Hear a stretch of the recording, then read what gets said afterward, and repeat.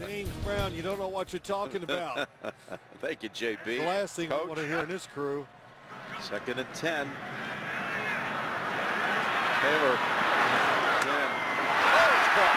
Caught by Clay. And he takes over and takes off to the end zone for the touchdown.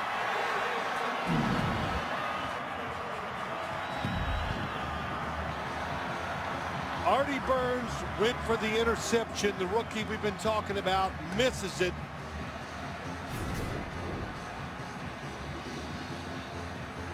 Boy, Tyrod Taylor takes a big hit from Chickillo from behind.